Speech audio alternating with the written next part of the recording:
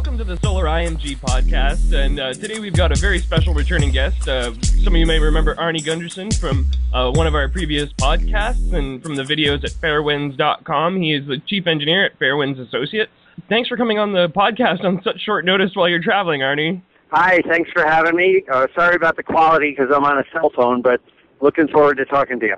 Now, today it's it's been getting a little bit of mainstream media attention that uh, there's problems at Reactor 2. Um, they did the endoscopy thing. I'm not too, you know, up on, on the up and up. I was hoping you could please tell our uh, listeners what's up.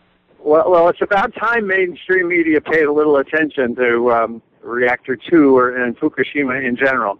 Um, what they've what they've been able to do is um, get into the reactor building at, at Unit 2. And of course, reactor building is that box, and Unit 2 is the only one that still has a box. The others got blown to smithereens. So the, um, uh, they got into the reactor building and were able to put an um, endoscope down into the containment, not into the reactor, but into the containment. Um, so you know they've they've entered the uh, the dry dry well, and then they're heading down the side of the vessel toward the, the suppression pool. And they had expected to find water at five meters and didn't find any, and four meters and didn't find any, and three and two and one, and they didn't find any water until they got to 60 centimeters. Now that's um, that's about two feet. So there's only two feet of water in the bottom of the containment.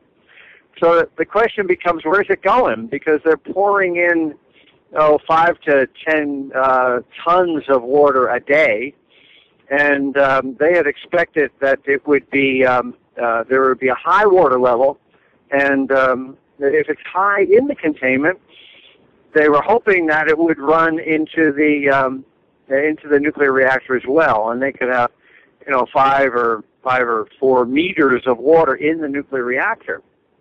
Well, the problem is um, without that amount of water for shielding, uh, it will be very difficult to remove any nuclear fuel. Um, it's a, it's a, there's two pieces. The, end, the endoscope determined that there wasn't much water. And 60 centimeters um, corresponds roughly to the lower lip of the, uh, the, the downcomer leg into the suppression pool. So I, I think it's pretty clear that there's damage in the suppression pool in um, in Unit Two. Now that was um, postulated. I, I know I talked about it, but others did too. Uh, there was an explosion in Unit Two, and um, and it was likely to be in that leg between the, the dry well and the suppression pool. And it looks like that's the case. So they're pouring water into the nuclear reactor. It's running out somehow, and uh, and is now um, not in the containment either. So it's leaking out of the containment. Now, the the other piece of that was, in addition to the endoscope, they also were able to put in a uh, a, a radiation detector, and they they couldn't put them in together, which is too bad. But as they uh, the lower they got, the higher the radiation levels got, um, which clearly indicates that the nuclear core has slumped and is in the bottom of the reactor and and also in the bottom of the containment. So I, it definitely indicates a meltdown. The, the numbers they got are absolutely astronomical. Um, 70 um, sieverts an hour, and you got to slap two zeros on the end of that to get to rem. So it's 7,000 rem. Um, and a thousand will um, will cause neurological damage and kill you in about 15, 20 minutes. So we are well over uh, lethal exposures in uh, in a very short time.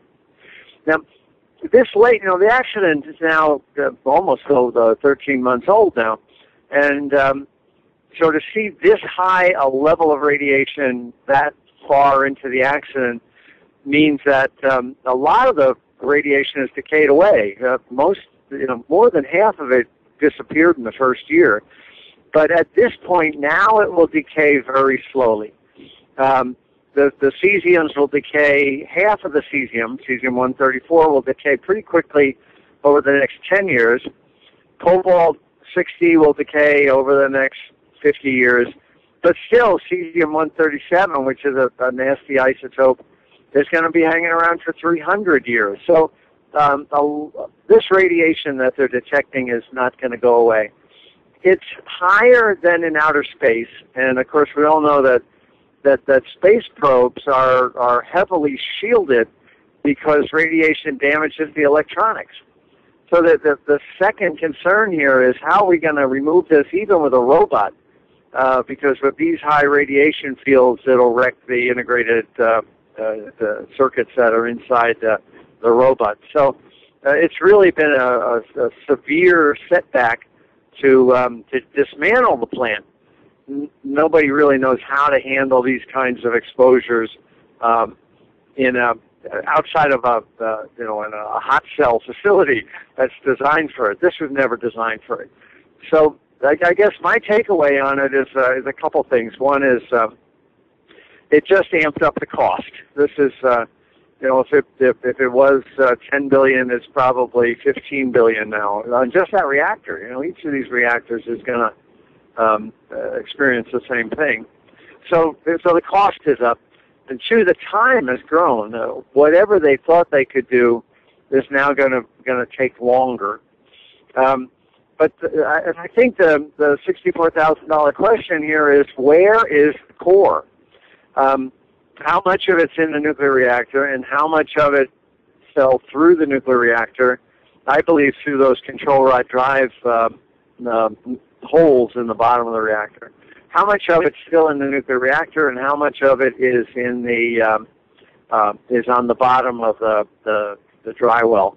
Uh, that's um, uh, we know it's low, we know it's slumped, but exactly what part is still in the vessel and uh, how much is on the floor is, uh, is is really unknown. The the other piece of this is where is the water going? Um, it's obviously leaking into uh, other buildings, you know, the turbine hall, and and uh, um, I was able to get a um, uh, a document from uh, a General Electric um, startup engineer, um, and it's uh, it's an old document. It dates to the early um, uh, the the early 80s, and the, the, the document said that um, the penetrations between the containment and uh, and other buildings are likely to fail in the event of an accident in a Mark One containment. Well, what that means is that um, you know, in, in the incredible heat and the incredible pressure they had in the containment, not only did the the lid of the containment lift, like I talk about on the Fairewinds video, but but in addition, probably within four or five, maybe six days, the penetrations where the electrical wires come in started to rot out uh, it's exacerbated because it's salt water. So you've got you know rubber penetrations going through a concrete containment, and um, with with high heat, high radiation, high humidity, and high pressure. And on top of that, oh by the way, we're we're putting salt water on the uh, on, the uh, the penetration. So so my guess is the penetrations are um, uh, are failing as well allowing all of that water, five tons a, a day or more, to leak into other buildings. So I guess, wow, um, you, you went over to Japan and, and, you did the samples. That's well covered on, on Fairewinds in your latest video, so I'm not going to beat a dead horse. But at, at the beginning, when we realized that this was a, a real serious situation, we were kind of derided and called paranoid, and you know, it's not even nearly as bad as Chernobyl, some people said. But now the mainstream media is, is starting to come out with this. Why now? Um, yeah, I was attacked by Rush Limbaugh on um, on on radio after I was on CNN once or twice. He was calling me a fearmonger, and um, and of course, you know, the time has proven that. Uh, if anything, I was conservative.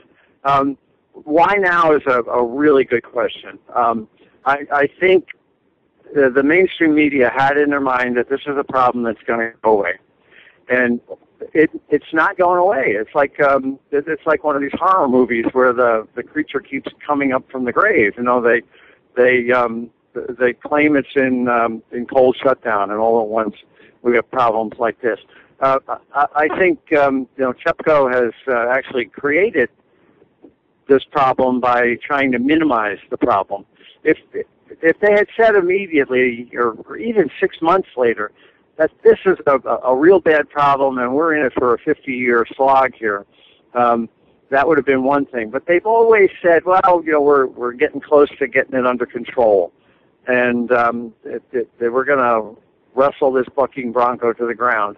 Uh, but it's not happening, and um, it, and it can't happen. The laws of physics are telling us that this is um, this is a 50-year battle, and uh, um, in the end, they're going to spend a lot of money, and in the end, they're going to dismantle the plant. But between now and year one and year 50, they're um, uh, it, it's going to it's going to cost a lot of radiation exposure to workers, and it's going to cost a lot of money and um, create a lot of technology. Uh, there's nothing on the market now that can even begin to handle the problems they're facing. So um, this is, um, uh, you know, probably your. Uh, I, I'm not sure how old you are, but um, when you have grandkids, they'll still be watching the Fukushima decommissioning.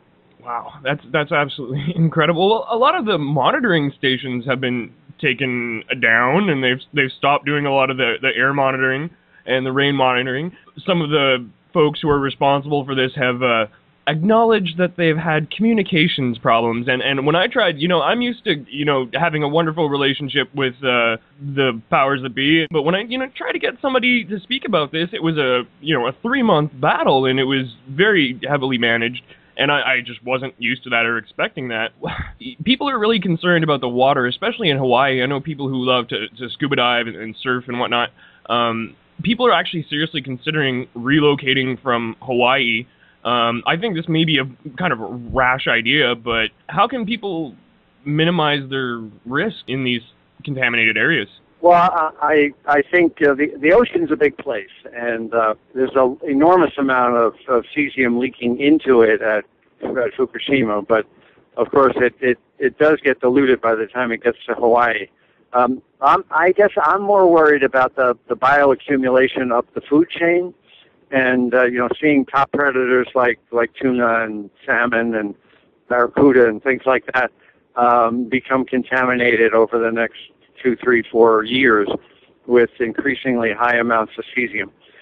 Uh, what you said is right on, though. There, there's no monitoring of this. Uh, the last I heard, the U.S. government had monitored about 300 fish in the last year total. Um, so, you know, clearly we're importing tens of millions and we're only looking at 200. So we're not going to, uh, we have a system designed not to find the contamination problem. The, the other piece of this is the, um, um, you know, the, the debris field is heading toward Hawaii and, and the West Coast. You know, I, I'm, I'm most of that debris came from the tsunami, and the tsunami hit up and down the coast. So it's not all Fukushima debris, but uh, but some of it certainly came from within you know 10 or 20 miles of the the reactor, and um, and some of that's likely to be contaminated.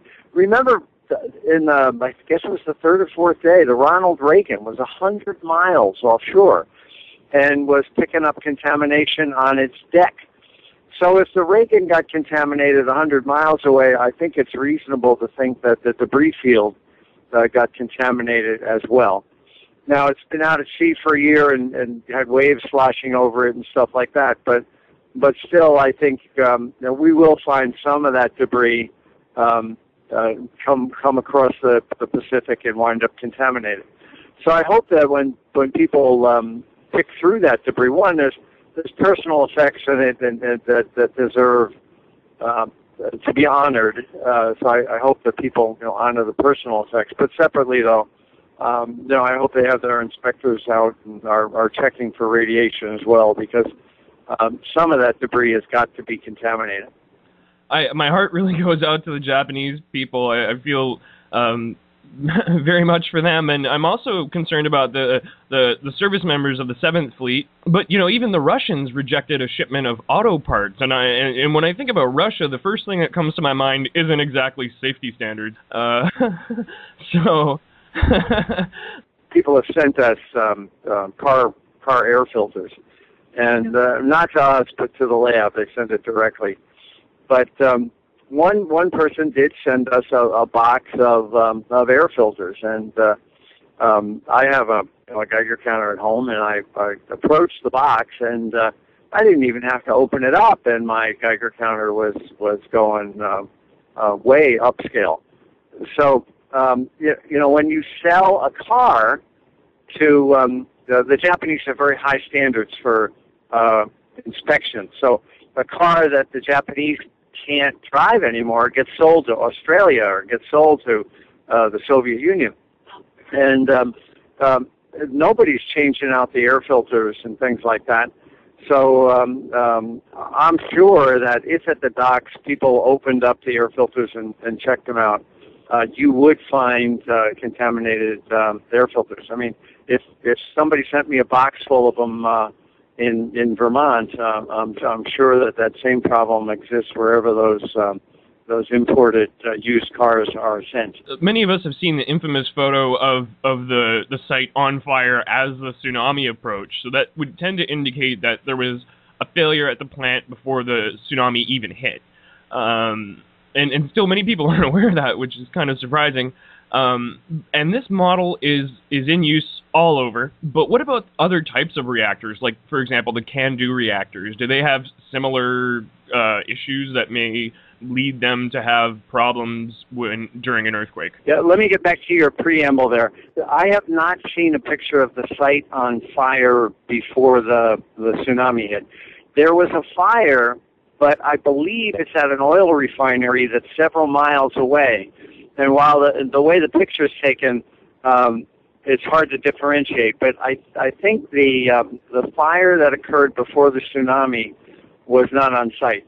Now, I don't I don't mean to minimize though. Uh, it's pretty clear that Unit One at, at Fukushima uh, uh, Daiichi was um, was in trouble before the tsunami hit. You know, there was high radiation in the reactor building. There was high radiation at the fence post in the first hour, and of course they had the trouble with the isolation condenser and things like that. So um, then, of course, it was the first one to melt down, the first one to explode, first one to run out of water. Um, so something happened in Unit 1 before the tsunami hit.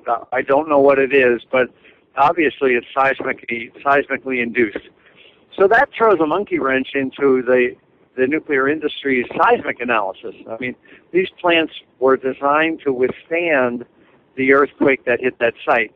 It was a 9 out in the ocean, but on, on land it was a, a, a 7.9.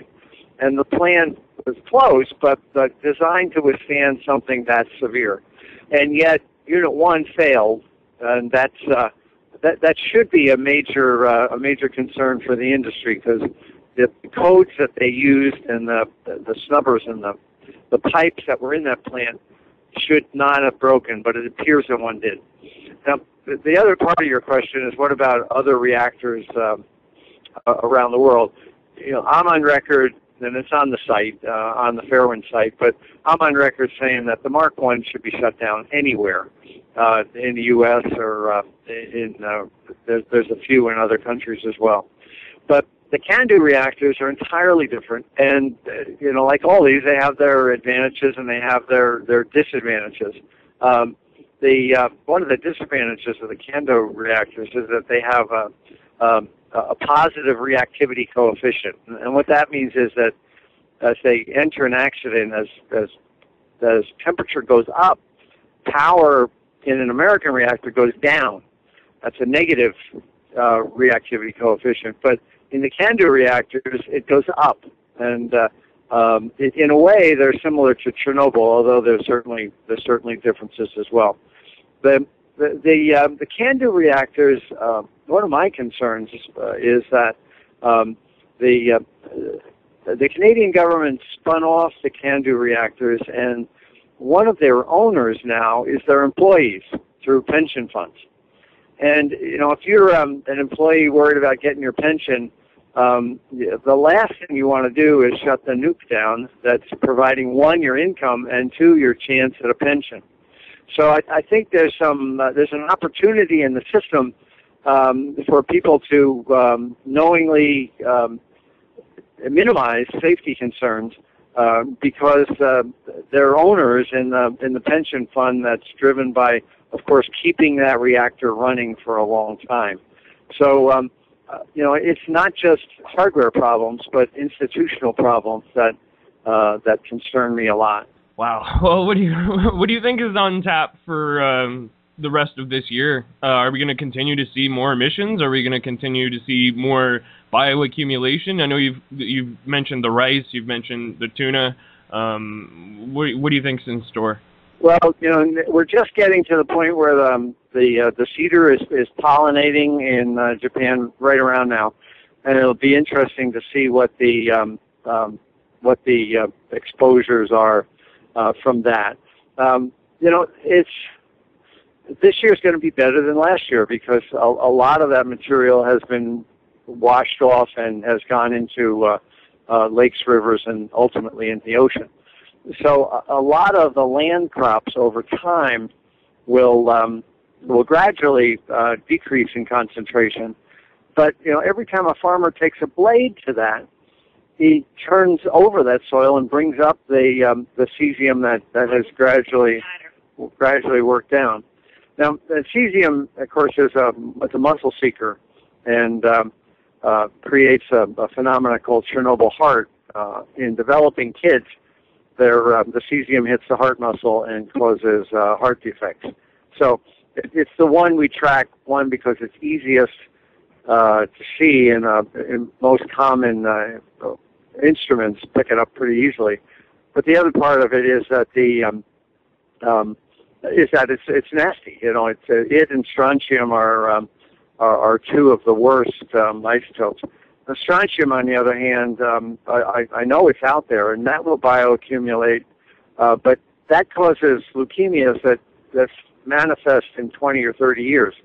We're just now there was a study out of um, University of Pittsburgh that saw a statistically meaningful increase in leukemias from uh, from people near Three Mile Island. So here's 30 years out, and we're just now getting the studies that show uh, you know, statistically meaningful increases in in uh, uh, in leukemias. And and Three Mile Island was, uh, you know, one thousandth of what Fukushima was.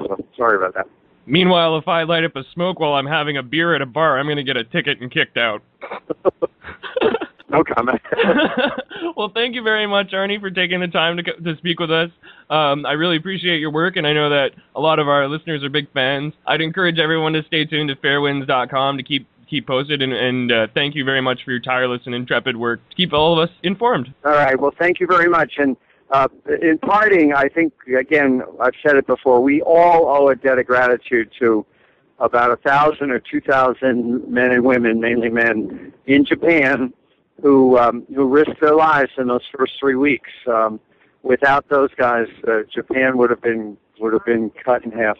You know, we're uh, I'm speaking to you on um, uh, you know March 28th, and of course, you know TMI began the 28th, and it was was probably at its worst on the 29th and 30th. So.